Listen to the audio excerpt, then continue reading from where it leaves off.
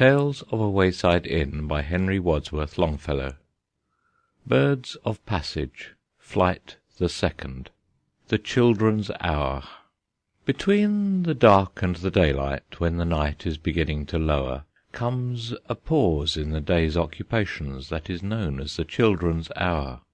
I hear, in the chamber above me, the patter of little feet, the sound of a door that is opened, and voices, soft and sweet. From my study I see in the lamplight, descending the broad hall stair, grave Alice and laughing Allegra, and Edith with golden hair. A whisper, and then a silence. Yet I know by their merry eyes they are plotting and planning together to take me by surprise. A sudden rush from the stairway, a sudden raid from the hall. By three doors left unguarded they enter my castle wall. They climb up into my turret, o'er the arms and back of my chair. If I try to escape they surround me, they seem to be everywhere. They almost devour me with kisses, their arms about me entwine, till I think of the Bishop of Bingen in his mouse tower on the Rhine. Do you think, O blue-eyed banditti, because you have scaled the wall, such an old moustache as I am is not a match for you all? I have you fast in my fortress, and will not let you depart, but put you down into the dungeon in the round tower of my heart. And there will I keep you for ever, yes, for ever and a day, till the walls shall crumble to ruin, and moulder in dust away. Enceladus Under Mount Etna he lies. It is slumber, it is not death. For he struggles at times to arise, And above him the lurid skies Are hot with his fiery breath. The crags are piled on his breast, The earth is heaped on his head, But the groans of his wild unrest, Though smothered and half suppressed, Are heard, and he is not dead. And the nations far away Are watching with eager eyes. They talk together and say, "To morrow, perhaps to day, Enceladus will arise." And the old gods, the austere Oppressors in their strength, Stand aghast and white with fear At the ominous sounds they hear, And tremble and mutter, "At length!" Ah me, for the land that is sown With the harvest of despair, Where the burning cinders blown From the lips of the overthrown Enceladus fill the air. Where ashes are heaped in drifts Over vineyard and field and town, Whenever he starts and lifts His head through the blackened rifts Of the crags that keep him down. See, see, the red light shines! 'Tis the glare of his awful eyes! And the storm wind shouts through the pines Of Alps and of Apennines, Enceladus, arise! The Cumberland At anchor in Hampton Roads we lay, On board of the Cumberland, sloop of war, And at times from the fortress across the bay The alarum of drums swept past, Or a bugle passed from the camp on the shore. Then far away to the south uprose A little feather of snow white smoke, And we knew that the iron ship of our foes Was steadily steering its course To try the force of our ribs of oak. Down upon us heavily runs, Silent and sullen, the floating fort. Then comes a puff of smoke from her guns, And leaps the terrible death With fiery breath from each open port. We are not idle, but send her straight Defiance back in a full broadside, As hail rebounds from a roof of slate, Rebounds our heavier hail From each iron scale of the monster's hide. "Strike your flag!" the rebel cries In his arrogant old plantation strain.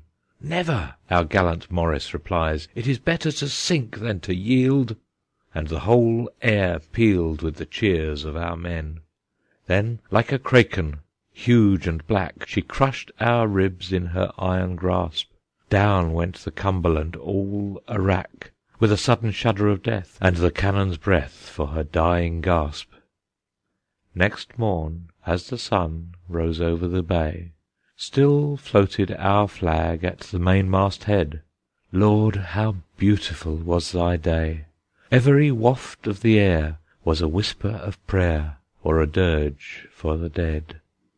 Ho, brave hearts that went down in the seas, Ye are at peace in the troubled stream.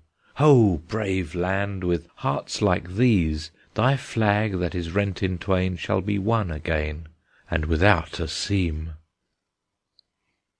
Snowflakes Out of the bosom of the air, Out of the cloud folds of her garments shaken, Over the woodlands brown and bare, Over the harvest fields forsaken, Silent and soft and slow Descends the snow.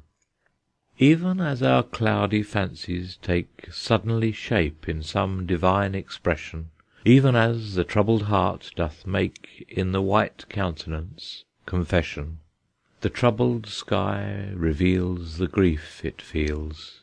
This is the poem of the air, Slowly in silent syllables recorded; This is the secret of despair, Long in its cloudy bosom hoarded, Now whispered and revealed To wood and field. A day of sunshine. O gift of God! O perfect day! Whereon shall no man work but play. Whereon it is enough for me Not to be doing, but to be. Through every fibre of my brain, Through every nerve, through every vein, I feel the electric thrill, The touch of life that seems almost too much. I hear the wind among the trees Playing celestial symphonies.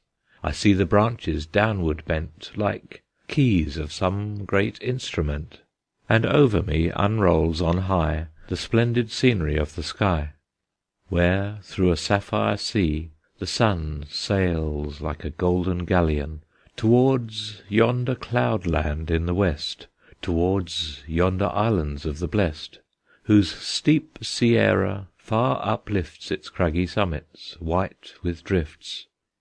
Blow, winds, and waft through all the rooms The snowflakes of the cherry blooms. Blow, winds! and bend within my reach The fiery blossoms of the peach. O life and love! O happy throng Of thoughts whose only speech is song!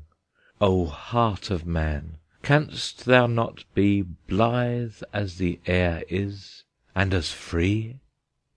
1860. Something left undone. Labour with what zeal we will, Something still remains undone, Something uncompleted still Waits the rising of the sun. By the bedside, on the stair, At the threshold, near the gates, With its menace or its prayer, Like a mendicant it waits, Waits, and will not go away, Waits, and will not be gainsaid; By the cares of yesterday Each to day is heavier made. Till at length the burden seems Greater than our strength can bear, Heavy as the weight of dreams, Pressing on us everywhere. And we stand from day to day Like the dwarfs of times gone by, Who, as the northern legends say, On their shoulders held the sky. Weariness O little feet, that such long years Must wander on through hopes and fears, Must ache and bleed beneath your load, I, nearer to the wayside inn Where toil shall cease and rest begin, Am weary, thinking of your road.